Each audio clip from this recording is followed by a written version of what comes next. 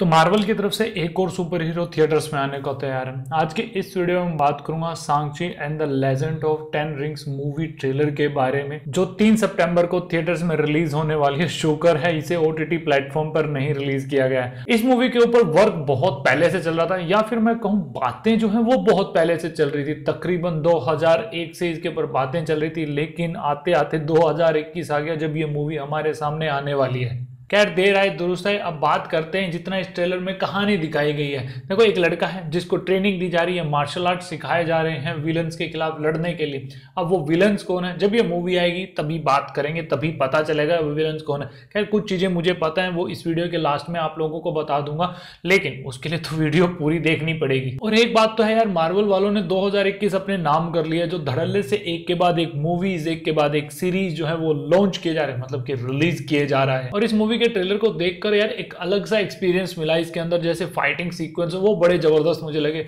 होंगे क्यों नहीं? क्योंकि इसमें मार्शल आर्ट का यूज़ किया गया है, जो काफ़ी कमाल के लग रहे थे और वीएफएक्स भी बहुत बढ़िया थे। और फाइटिंग सीक्वेंस के साथ साथ इसमें जो कलरफुल जो चीज़ें हैं, जो लास्ट में जब ये ट्रेलर खत्म होता है, जो लास्ट में जो चीज़ें दिखाई गई, वो बहुत ज़बरदस्त थी। अब मैंने इसकी थोड़ी बहुत हिस्ट्री खंगाली तो मुझे पता चला कि भैया शांगची जो है वो बहुत पुराना करेक्टर है, कोई नया नहीं है कि मार्वल ने सोचा कि रातों रात एक नया करेक्टर सोच लिया और लो भैया, उसके ऊपर मूवी बना दी इन्होंने, ऐसा नहीं है। 1973 में इसके ऊपर कॉमिक्स आई थी।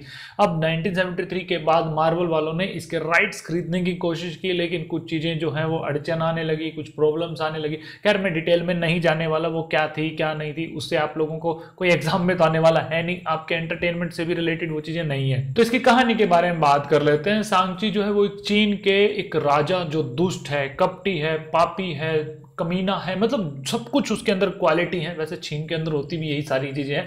तो उस राजा का नाम है फू मानचू फू मानचू तो ये जो राजा है, वो बहुत ज़्यादा कपटियाँ अपने साम्राज्य को बढ़ाना चाहता है, लोगों को मार मार कर। वैसे चीन की तो नीति एक्चुअल में यही रही है। वो यही कहता है कि जितने भी आसपास के जो देश हैं, वहाँ पर हमारे चाचा, ताऊ, दादा, दादी, वो घूमने गए हुए थे तो इसलिए वो हमारा है। ये उनकी जो तोट है, वो चलती आ रही है और यही इसके अंदर इसके राजा की तोट दिखाई गई है। और जो सांची की जो माँ है, वो एक अमेरिकन है सांची अपने बाप के पास रहता है और इसके बाप ने इसको ट्रेनिंग दी। ये कहता है कि विलन्स को तुम्हें मारना है। अब इसको कभी बताया ही नहीं कि एक्चुअल में इसका पिता क्या चाहता है। और इसको जब वो काम देता है कि भाई तुझे एक इंसान को मारना है और ये जाके उसको मारता है, तब सांची को पता चलता है कि एक्चुअल में जो इसका पिता है, वही खलनायक है।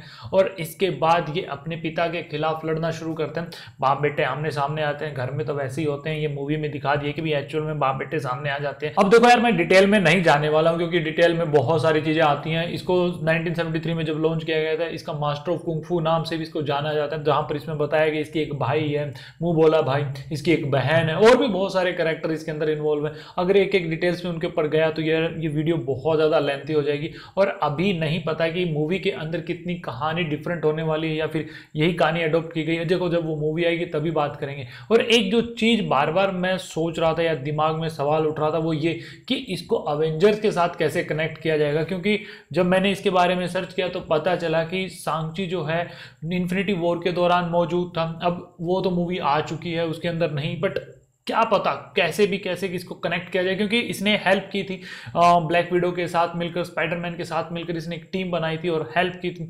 मे बी आने वाले इस मूवी के अंदर शायद हमें थोड़ी बहुत झलक देखने को मिल जाएगी अवेंजर्स के साथ इसको कैसे कनेक्ट किया जाएगा। अब इसके बारे में कुछ भी नहीं पता, जब मूवी रिलीज़ होगी तभी पता चलेगा। अगर आप लोगों ने ये मूवी का ट्रेलर देखा है तो प्लीज़ बताना कि आपके क्या विचार हैं इस ट्रेलर के बारे में और आप क्या सोचते हैं इस कहानी के बारे में। अगर आपने कॉमिक्स पढ़ी है तो उसके बारे में बता सकते हो। तो बस आज के लिए इतना ही रखते हैं इस वीडियो में। थैंक्स वॉचिंग दिस वीडियो मिलते हैं नेक्स्ट वीडियो में. जय हिंद.